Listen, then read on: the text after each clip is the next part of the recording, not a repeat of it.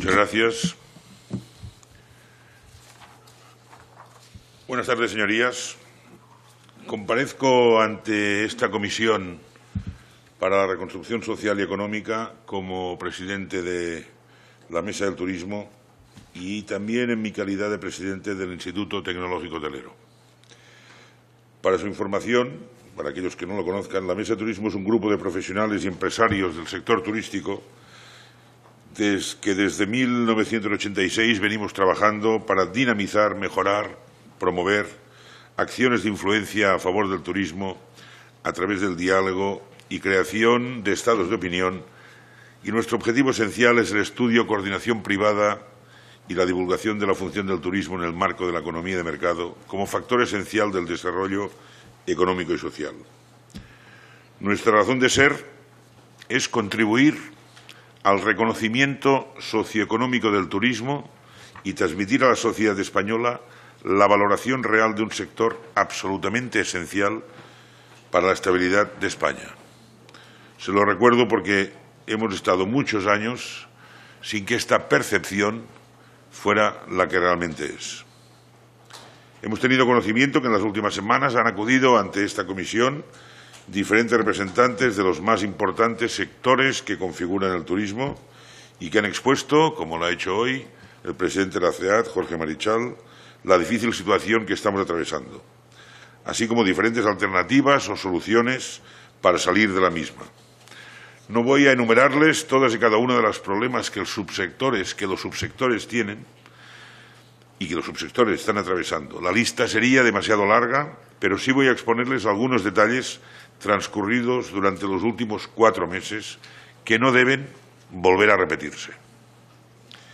El pasado 1 de abril, a los pocos días de generarse la excepcional situación que se había iniciado, nos dirigimos al presidente del Gobierno, don Pedro Sánchez, para exponerle la gravísima situación que se había iniciado y le anunciamos las lamentables consecuencias que afectarían al sector turístico en particular y a la economía en su conjunto y a la sociedad española.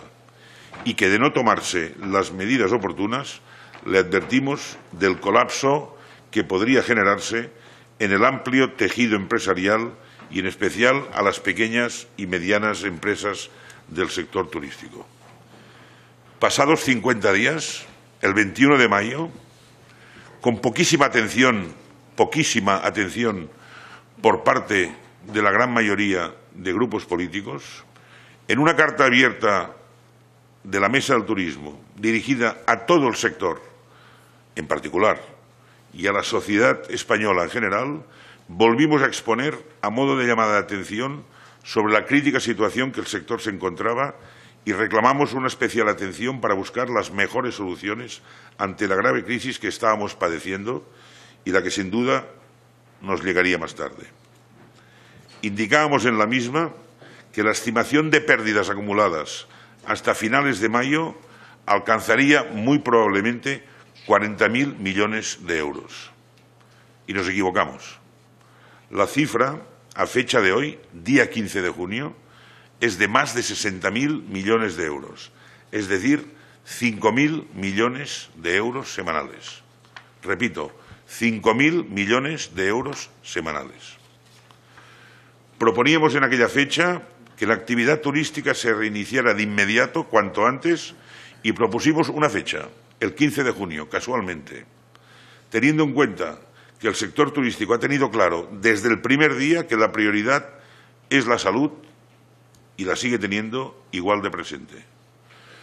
Por esta razón, la reactivación de la economía en general y del sector turístico en particular tiene claro como premisa el riguroso cumplimiento de los 21 protocolos higiénicos sanitarios diseñados y adaptados a las particularidades de cada uno de los subsectores.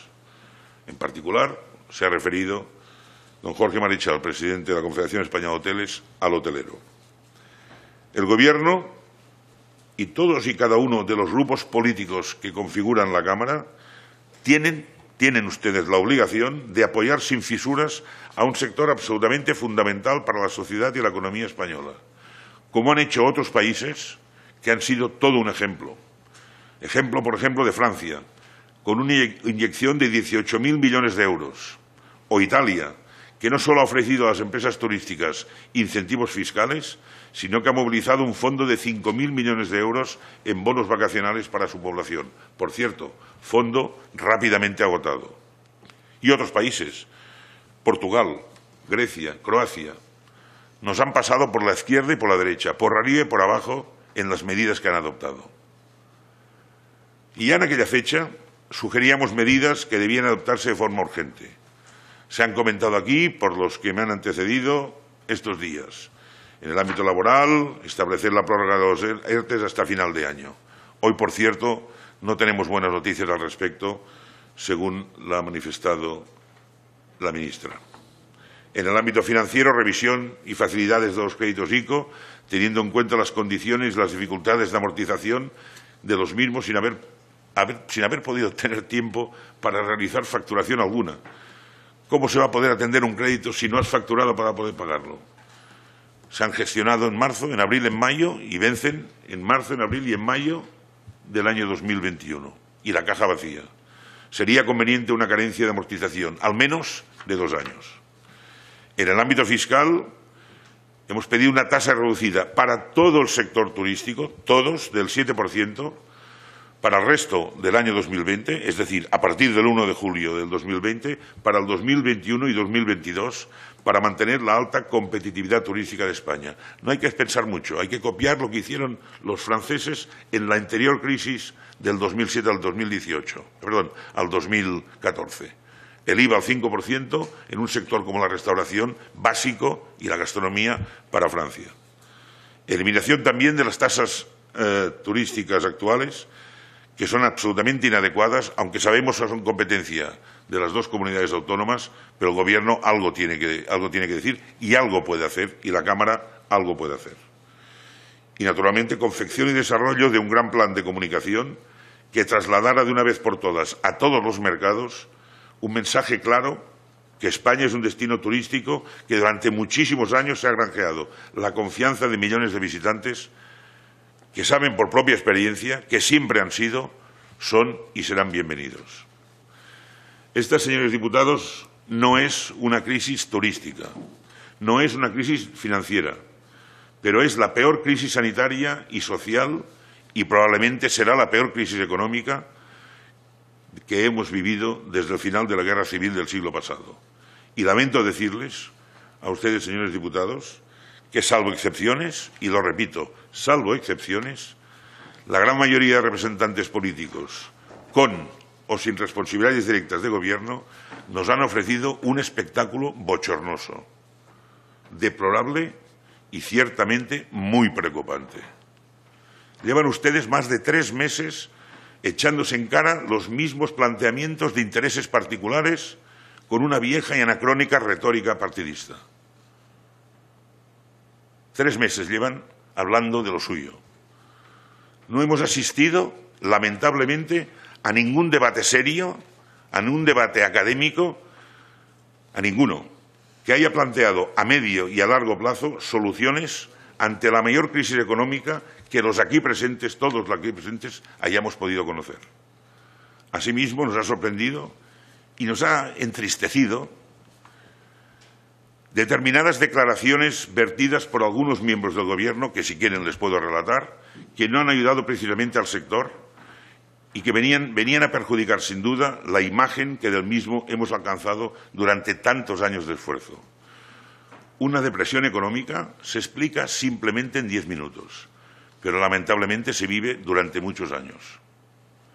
Lamento de no disponer del tiempo suficiente para argumentarles cada uno de los temas que aquí les he expuesto. Y no tengo tampoco suficiente tiempo para hablarles de algunos subsectores, algunos subsectores turísticos que no tendrán la oportunidad de exponer sus problemáticas. Han venido aquí la Confederación Española de Transporte, representada por Rafael Barbadillo, la Confederación Española de Hoteles, representada por su presidente Jorge Marichal, Hostelería de España, han venido varias asociaciones muy importantes. Pero no ha venido, por ejemplo, Campings, que también está en la mesa de turismo y en la Confederación Española de Hoteles, y que tiene un problema gravísimo este año con las acampadas indiscriminadas que se están produciendo ya en estos últimos fines de semana. Y no hay ninguna legislación al respecto y todo el mundo acampa donde quiere con caravanas, etcétera, etcétera. Y es un, problema grave que afecta a la hostelería y afecta directamente al sector del camping. O, o, el, eh, o, el, sector del tiempo compartido con una legislación anacrónica y con unos perjuicios tremendos que están reclamando hace tiempo medidas de regulación inmediatas y que además afectará a empresas absolutamente arregladas como eh, la tienen ellos. O bien la problemática de miles de, miles de pequeñas empresas de restauración. Hay 270.000 restaurantes y bares en España, señores. El 30% no abrirán. Y no podrán abrir sus negocios por hallarse absolutamente estrangulados por razones financieras. Y no quiero retardar, tampoco quiero terminar ¿eh? sin recordarles, en mi condición de presidente del Instituto Tecnológico Telero, que España no ha invertido lo suficiente ni en innovación ni en tecnología. Ahora no estamos dando cuenta. No se ha estimulado a las empresas a hacerlo. Resulta clave para salir de esta crisis transformar digitalmente al sector productivo. El problema es que para eso se necesita capacidad financiera y adaptarse a los cambios que serán imprescindibles. Obliga a tener un músculo financiero que muchas empresas no tendrán. Los cuatro meses pasados y los que están por llegar serán una parada técnica de la economía, señores diputados, de dimensiones absolutamente desconocidas. La creación de incentivos e inversiones en determinadas iniciativas tecnológicas y digitales que permitan una recuperación más efectiva y acelerada en un entorno post-COVID. En el plano tecnológico o digital, nos parece oportuno señalar las siguientes medidas que, junto con otros actores, podemos colaborar de manera efectiva en línea con las directrices del Plan de Renacimiento del Turismo de España, anunciado por la ministra, que, según parece, tendremos conocimiento el jueves, pero que todavía desconocemos. Para un desarrollo del conocimiento turístico y para un reposicionamiento de España como destino seguro a través de campañas digitales tanto a nivel doméstico como internacional, así como la monotilización y despliegue de programas de estímulo de la demanda a través de canales digitales. En definitiva, señores y señoras diputados, está en sus manos, no lo duden, están en sus manos, en su capacidad política, en su capacidad intelectual, diría, y en su voluntad y, sobre todo, en su inteligencia. Trabajar conjuntamente con el sector privado, que ha sido un ejemplo de laboriosidad, de entrega para que España siga liderando a nivel mundial la competitividad turística. Y quiero recordarles, y lo ha hecho el presidente de la Confederación Española de Hoteles, quiero recordarles unos datos que seguro que otros ya han mencionado, pero hay que refrescar la memoria. 46.400 millones de saldo positivo en la balanza de pagos. ¿Qué otro sector lo genera? 83 millones de visitantes en el 2019. Señor 12, Molas, ¿eh, ¿puede ir Termino, termino. 12,5% del PIB directo, 18% del PIB indirecto y 2,7 millones de trabajadores, es decir, el 13% del empleo. Segundo sector después del comercio y tres veces más que la automoción, que lamentablemente estos días es noticia.